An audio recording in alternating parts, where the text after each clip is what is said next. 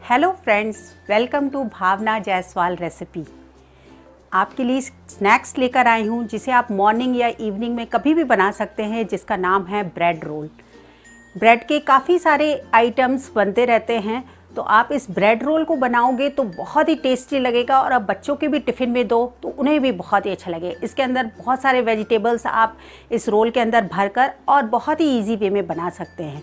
तो चलिए हम आपको स्टेप बाय स्टेप बताएँगे कि आप ये ब्रेड रोल कैसे बनाएँ। और अगर आपको मेरी ये वीडियो अच्छी लगी तो प्लीज़ लाइक के बटन पर क्लिक करना ना भूलें और कमेंट करके आप बताएँ कि आपने इस रेसिपी को बनाया तो कैसा लगा। तो चलिए हम बनाते हैं ब्रेड रोल स्टफिंग में हमने यहाँ पर लिया है पाँच बॉयल्ड आलू और ये ब्रेड के चार स्लाइसेस लिए हैं।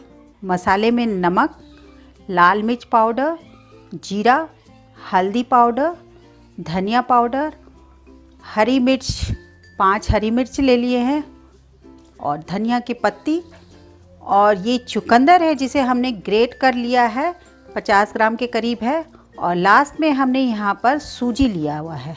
तो चलिए हम बनाना स्टार्ट करते हैं। कढ़ाई को गरम कर लिया है और उसके अंदर हम वन स्पून ऑयल डालेंगे।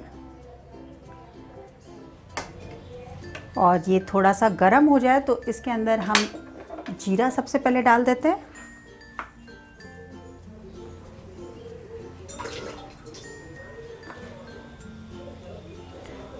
और साथ में यहाँ पर हरी मिर्च डाल देते हैं। आप हरी मिर्च अकॉर्डिंग टू टेस्ट डालें, क्योंकि यहाँ पर हम लोग लाल मिर्च भी यूज़ करेंगे।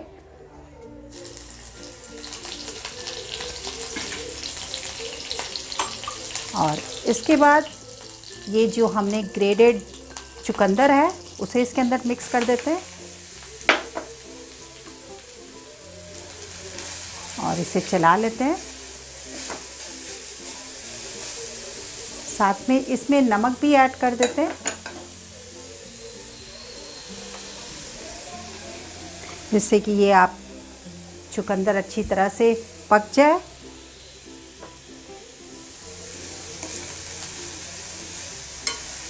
फ्लेम को थोड़ा हम स्लो ही रखेंगे। और साथ में यहाँ पर हम मसाला ऐड कर लेते हैं। जिसमें थोड़ा सा हल्दी पाउडर, धनिया पाउडर और लाल मिर्च पाउडर।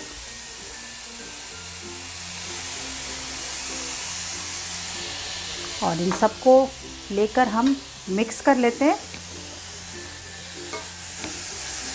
अच्छी तरह से चला लेते हैं।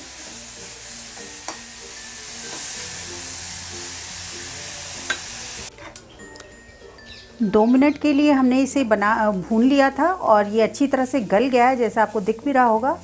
अब इसके अंदर हम लास्ट में ये आलू जिसे हमने मैश कर लिया, या आप ग्रेट भी कर सकते हैं और इसे इसके अंदर मिक्स कर देते हैं।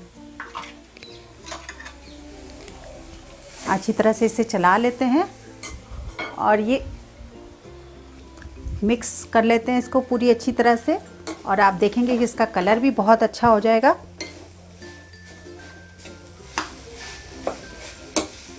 चारों तरफ़ से इसको मिक्स करने के बाद इसमें हम ऊपर से धनिया भी ऐड कर देते हैं।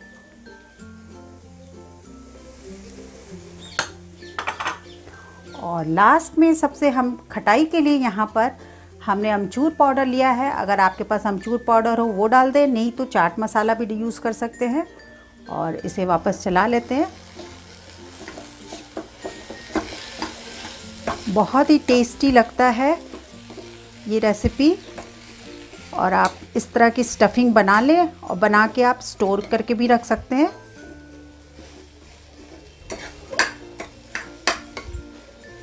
एक मिनट के लिए और भून लेते हैं, जिससे कि स्टफिंग के अंदर सारे मसाले मिक्स हो जाएँगे इजीली तो ये बनकर, कर बिल्कुल रेडी हो गया है और अब हम गैस ऑफ़ कर देते हैं और बिल्कुल ठंडा होने के बाद फिर हम इसके आगे की प्रोसीजर बन ब्रेड रोल बनाना स्टार्ट करते हैं। तो हमने स्टफिंग को बिल्कुल ठंडा कर लिया है और इसके बाद पानी हम यहाँ पर एक बोल में ले लेते हैं।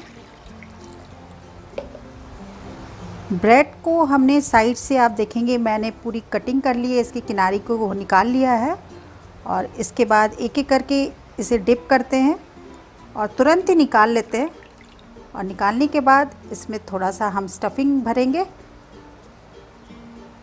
थोड़ा सा आप अपने अकॉर्डिंग जितना आपको भरना है वो भरें और इस तरह इसको फोल्ड करते हुए और आप बना लें। सारा पानी निकल जाएगा इसके अंदर का। इस तरह देखेंगे। अगर आपको छोटा लग रहा है तो दो आप ले लें। इस तरह थोड़ा सा लेकर और इसे थोड़ा आप शेप में दे दें। और दूसरा भी एक और ले लें, थोड़ा बड़ा बन जाएगा।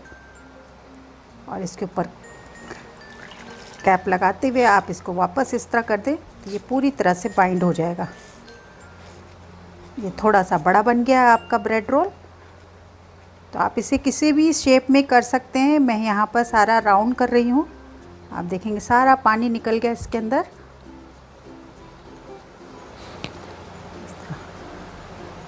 इस तरह ये सारे ब्रेड रोल को हम बना लेते हैं।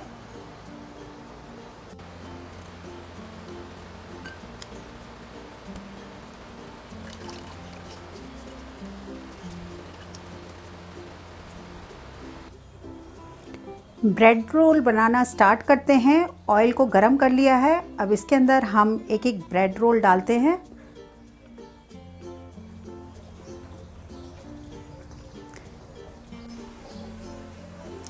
ब्रेड रोल बिल्कुल अच्छी तरह से गोल्डन ब्राउन हो गया होगा। देखिए आप, बिल्कुल बहुत ही अच्छा कलर आया है और करारा भी है। तो अब ये बिल्कुल अच्छी तरह से हो गया है, इसे टर्न कर लेते हैं। और गैस को ऑफ़ करते हुए इसे हम निकाल लेते हैं। इस तरह करते हुए टिश्यू पेपर ले लेते हैं, जिसे एक्स्ट्रा ऑयल हो, उस पर निकल जाएगा। सारे ब्रेड रोल बहुत ही क्रिस्पी और बहुत ही यमी बना हुआ है। आप इसी तरह इस रेसिपी को बनाएँ और आप भी ब्रेड रोल का मज़ा लें।